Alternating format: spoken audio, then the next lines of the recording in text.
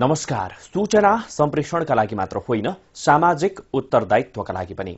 Prime स्टोरीमा स्वागत छ म रोहन श्रेष्ठ। काठमाडौँ उपत्यकामा झण्डै चालिस लाख मानिस बस्ने गरेको बताइन्छ। यति धेरै मानिस बसोबास गर्ने हाम्रो उपत्यका बस्न लायक ठाउँ भने अब रहेन। हामीलाई हरेक पल चाहिने हावा नै फोहोर भएको छ। प्रकृतिले त हामीलाई सफा हावा नै दिएको छ। तर अव्यवस्थाका कारण यो शहरको हावा पाँच गुणा फोहोर भएको छ। पल पल हामीलाई चाहिने हावा नै फोहोर भएपछि यो सहर बसोबासका लागि कसरी योग्य भयो र? यो हेर्नुहोस्।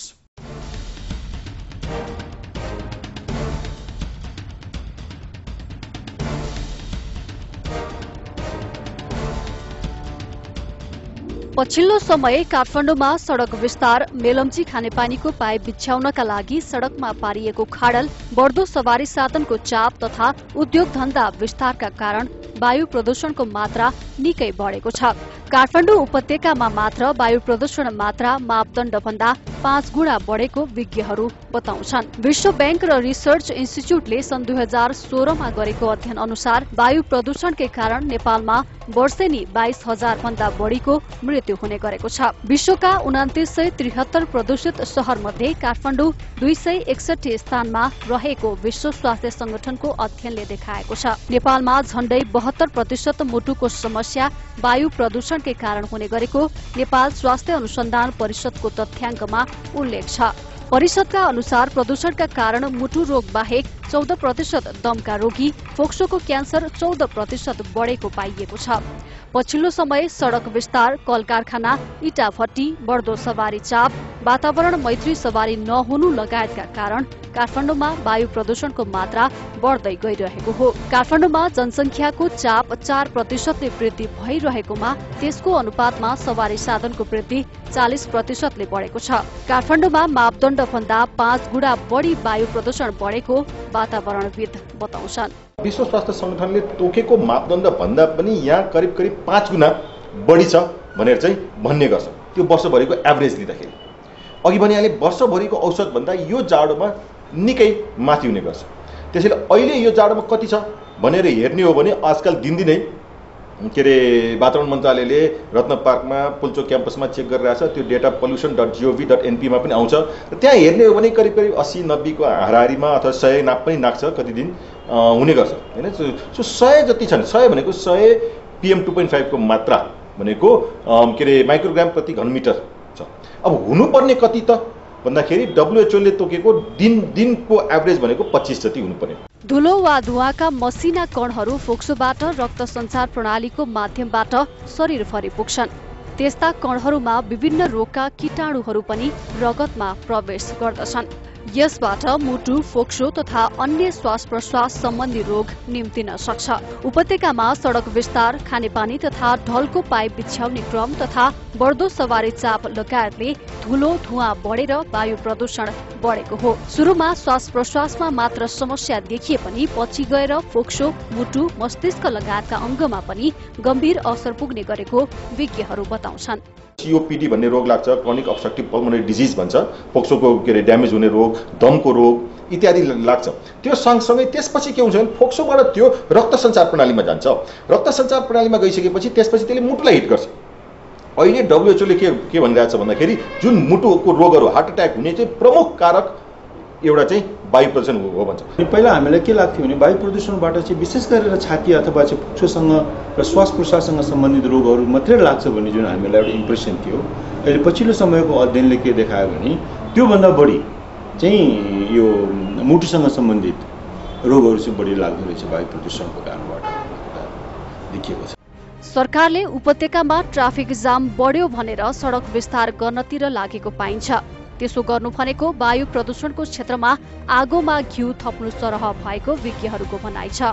शहरमा बीस प्रतिशत सवारी साधनले पचास प्रतिशत प्रदूषण गराउँछ। यदि बीस प्रतिशत सवारी साधन घटाउने मात्र हो भने पनि पचास प्रतिशत वायु प्रदूषण आफै घट्ने उनीहरूको बुझाइ छ।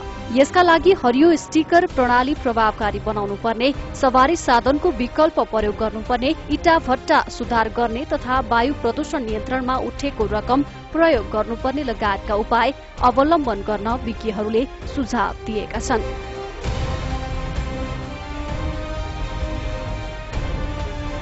विश्व ब्याङ्कको दुई हजार सोह्रको तथ्याङ्कले नेपालमा वायु प्रदूषणले वर्षेनी दुई दशमलव आठ अर्ब अमेरिकी डलर नोक्सानी भइरहेको देखाएको छ। विश्व ब्याङ्कको तथ्याङ्कलाई आधार मान्दै वातावरण विज्ञहरूले अप्रत्यक्ष रूपमा ठूलो आर्थिक नोक्सानी भइरहेको भन्दै चिन्ता व्यक्त गरेका छन्।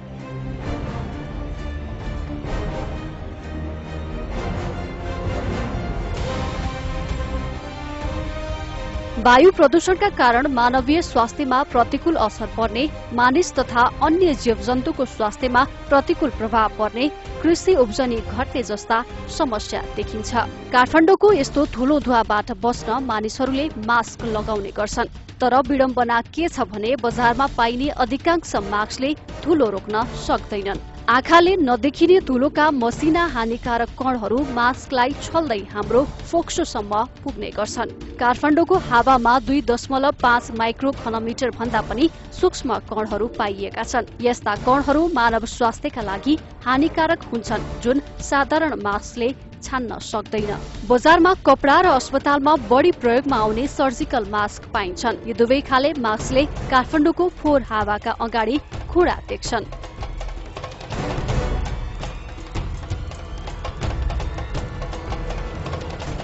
निश्चय पनि दर्शकवृन्द यो राजधानीमा बस्नेले हावा पनि सफा लिन पाउँदैनन्।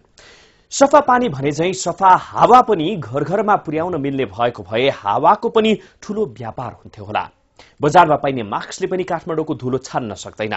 नेपाल स्वास्थ्य अनुसन्धान परिषदको अनुसन्धानले नै गरेको अनुसन्धानमा यस्तो देखिएको हो।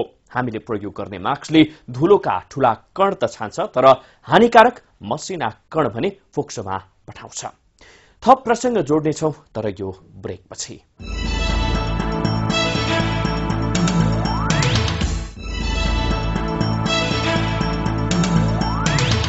ब्रेकपछि पुनः स्वागत छ। तपाईँ प्राइम स्टोरीमा हुनुहुन्छ र आज हामी काठमाडौँको फोहोर प्रदूषण भत्केका सड़कमा केन्द्रित छौं। काठमाडौँका सड़क खनिएका छन्। पाइप पिछ्याउने काम जारी छ। खनेपछि पुरिएको भागमा धुलो उड्ने गर्छ।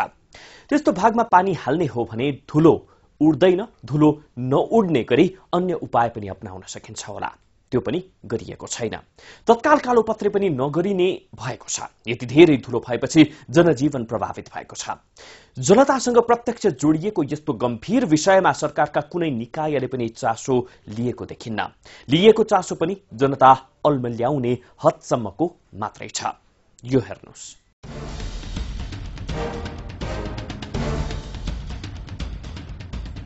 राजधानी काठमाडौँमा केही वर्ष यता सड़क विस्तारको काम भइरहेको छ। यस्तै बहुचर्चित मेलम्ची खानेपानी आयोजनाको पाइपलाइन बिछ्याउनका लागि अहिले सड़क र पेटी भत्काउने क्रम पनि चलिरहेको छ।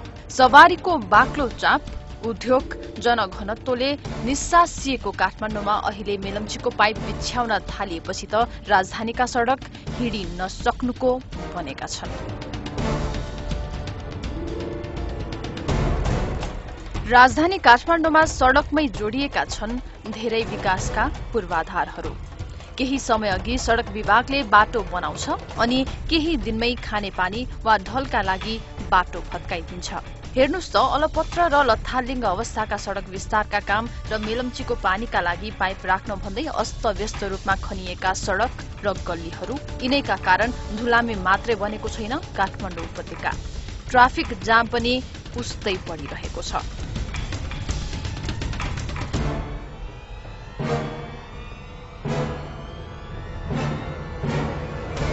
हुन त देशकै राजधानी हो तर काठमाडौँ उपत्यकाको जुनै कुनामा पुगेर फर्किँदा धुलामे भइहालिन्छ। यति विघ्न धुलो उठ्छ कि कहीँ कतै त कुहिरोले ढाके झै अलि परको दृश्य समेत देख्न मुस्किल पर्छ। सड़क किनारमा खाल्डा खुल्टीका कारण सर्वसाधारण शास्ति खेप्दै आइरहेका छन्। जाम धुलो र खाल्डा खुल्टी परेका सड़कका कारण दैनिक रूपमा शास्ति बिहोरेको अधिकांश सर्वसाधारणको दुखेसो यस्तो छ। विकास देखिहाल्नु हिलो बाटो हामी जनताहरूलाई धुरुको रहेछ यिनीहरूलाई कुकुर पाले जस्तै भइसक्यो होइन? भत्ता सुविधा मात्र लिन्छन्। देशको विकास देशको राजनीतिक केही छैन। देशलाई अर्थतन्त्र साफै खतम बनाइसक्यो सबै फ्रिज गरिसके आफ्नो ढिकुटी भरेका छन्। चक्रपथका व्यस्त चोकहरू कलङ्की बालाजु गोङ्गबु महाराजगंज चावहिल कोटेश्वर सातो बाटो एकान्त कुना लगायत क्षेत्रका सड़कको यात्रा सकसपूर्ण बन्ने गरेको छ। पैदल यात्रा गर्नेहरूले मास्क प्रयोग नगरी हिँड्नै नसक्ने अवस्था छ।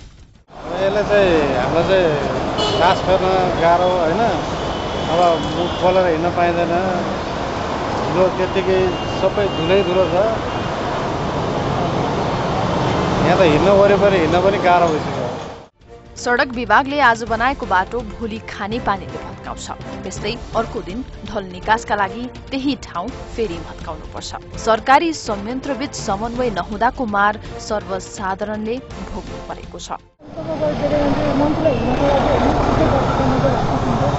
यस्तै हो राज्यको पारा होइन?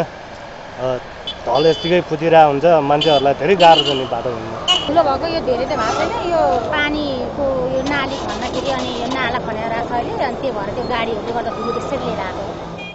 सड़क किनारमा खाल्डा खुल्डी परेका छन् जसले गर्दा आम सर्वसाधारणको दैनिकीमा निकै असर परेको छ। जाम धुलो र खाल्डा खुल्डी परेका सड़कका कारण दैनिक रूपमा शास्ति बिहोरेका सर्वसाधारणको दुखेसो यस्तो छ।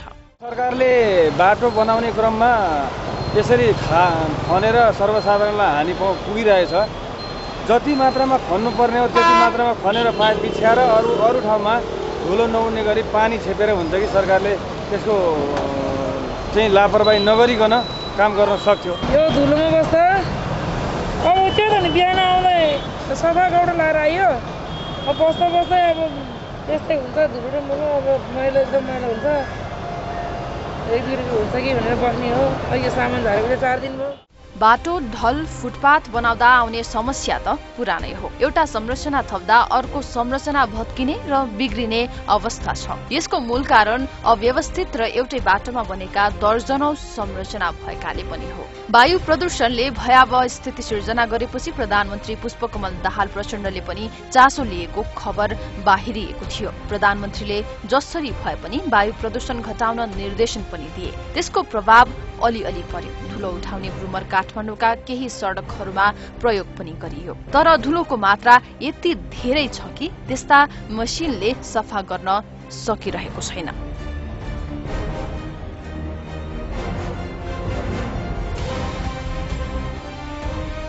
मेलम्चीको पाइप बिछ्याउन एक वर्ष अघि बनाइएका सड़क फेरि उधिन्नु पर्छ भन्ने खबर छ महिना अघि नै सार्वजनिक भएको थियो। यतिका समयसम्म पूर्व तयारी वा प्रदूषण न्यूनीकरणका लागि कुनै योजना कार्यक्रम तयार पारिएन। एकै पटक काठमाडौँका मूल सड़कदेखि सहायक सड़कहरू खन्न थालियो। भएको स्रोत साधनले धुलो नियन्त्रण गर्न सकेन। एक अर्थमा भन्ने हो भने त धुलो नियन्त्रण गर्न सरकारको सिस्टम नै फेल भयो।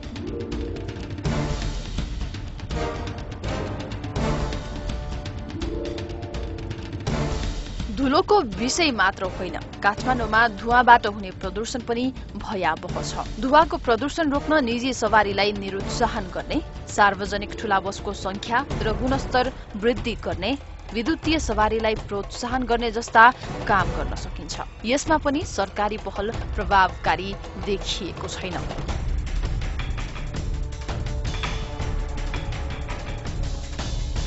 एक वर्ष अघि गरिएको एक अध्ययन प्रतिवेदन अनुसार राजधानीको हावा फोहोर गर्ने यहाँका सवारी साधनहरू हुन्। प्रदूषणमा सवारी साधनको हिस्सा अडतिस प्रतिशत छ। त्यसपछि सड़कको धुलोका कारण पच्चीस प्रतिशत हावा फोहोर हुन्छ। बाँकी हिस्सा कृषि इट्टा भट्टा फोहोर बाल्दा उद्योगले ओगटेका छन्। विश्व बैंक र आईएचएमई को रिपोर्ट अनुसार त वायु प्रदूषणकै कारण वर्षेनी बाइस हजार अडतिस जनाको ज्यान जान्छ। यो क्षतिलाई पैसामा रूपान्तरण गर्दा दुई दशमलव आठ खर्ब हुन्छ।